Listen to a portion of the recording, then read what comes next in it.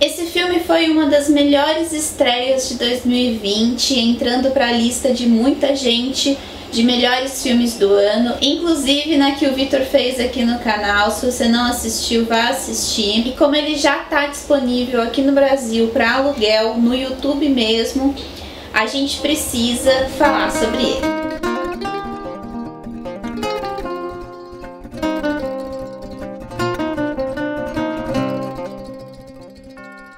Never Rarely, Sometimes Always, ou em português, Nunca, Raramente, Às vezes, Sempre. É um filme dirigido e escrito pela nova-iorquina Lisa Hickman e conta pra gente a história da Alton, uma menina de 17 anos da, Pen da Pensilvânia que descobre uma gravidez indesejada e decide então interromper. E o que a Elisa faz aqui é transformar em narrativa todo o processo burocrático que envolve o procedimento de aborto numa, numa menina menor de idade nos Estados Unidos. E o tema central dessa narrativa gira em torno dos vários níveis de violência aos quais uma menina da idade dela, com a realidade dela, é submetida. Então aqui a gente vai conhecer um pouco melhor da Alton, quem é ela, quem é a família dela, como é o trabalho e a rotina dela e principalmente o que aconteceu com ela, né? A história é narrada de um ponto de vista do lado dela, então a gente tá sempre com a personagem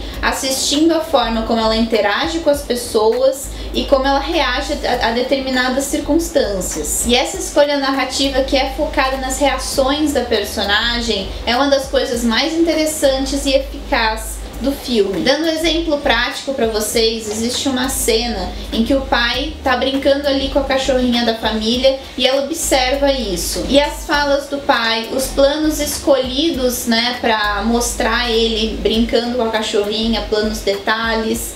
É, e, a, e, depois os planos escolhidos para filmar a Alton reagindo a isso, muitos closes usados aqui, e a montagem, né, que traz essa dinâmica de ação do pai e reação da Alton, vai sugerir algumas coisas pra gente já. E isso vai se repetir em vários momentos da narrativa, especialmente na cena que dá nome ao filme, que é uma cena crudelíssima, em que é filmada somente na atriz, é um plano que fica fixo na atriz, uh, observando ela reagir ao que a médica está perguntando em off. Então, é uma forma, é uma aula, na verdade, de como contar é, acontecimentos pregressos, né, passados da personagem, sem fazer uso de, de, flashback, por exemplo. Além de ser uma forma muito eficaz de contar o que está acontecendo por dentro dessas personagens, o estado psicológico delas. O último plano é um exemplo maravilhoso disso. Ou seja, dá pra ver que a Elisa domina muito bem o tema, domina a narrativa e sabe exatamente o que colocar em texto e o que só mostrar com imagem. E vale falar aqui que quem assina a fotografia desse filme é Helene Luvar, uma fotógrafa que já trabalhou no, com, em produções nacionais como A Vida Invisível, Todos os Mortos, que tem crítica aqui no canal também.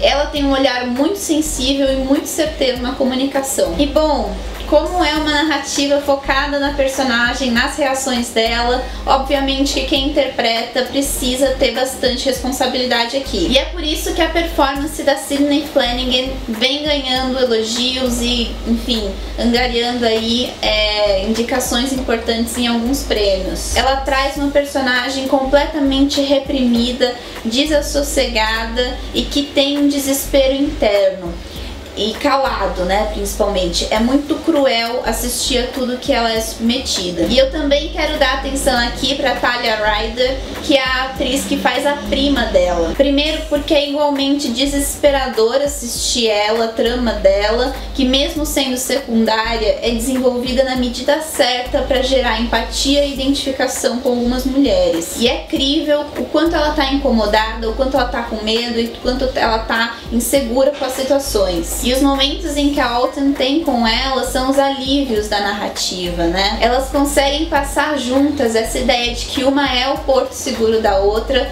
com cenas que são muito mais focadas em atitudes muito significativas do que em diálogos. Concluindo, Never Rarely Sometimes Always sabe dosar muito bem a brutalidade vivida por essas meninas, com a segurança que elas encontram no afeto da amizade. É uma narrativa certeira que não precisa de grandes viradas narrativas ou de diálogos expositivos para gerar impacto. É um filme distribuído pela Focus, que é a distribuidora de Bela Vingança, filme uh, que está ganhando aí a atenção da distribuidora para o Oscar, para as campanhas para o Oscar. Então, infelizmente, é muito pouco provável que a gente veja é, Never Rarely, Sometimes Always no Oscar desse ano mas ele está indicado em grande parte das categorias, na maioria, aliás, das categorias do Spirit Awards de 2021, que é a premiação de cinema independente mais uh, conceituada que tem nos Estados Unidos. E é uma premiação importante porque ela é responsável por alavancar a vida aí de muitas uh, de, de muitos profissionais da área do audiovisual. É um filme que merece muito ser assistido, merece seu o seu dinheiro do aluguel. Eu vou dar nota 10 para ele. Enfim, espero que você tenha gostado dessa crítica. Se gostou, deixa seu like aqui embaixo. Comenta o que, que você achou também. A gente quer trazer mais, mais uh, críticas de filmes que estrearam ano passado, que a gente ainda não sabia como é que eles iam estrear aqui no Brasil. Então a gente está dando uma analisada para ver como que vai ser a estreia para trazê-los aqui para vocês também, porque tem filmes muito bons em 2020, tá bom? É isso, a gente se vê no próximo vídeo. Um beijo, corta!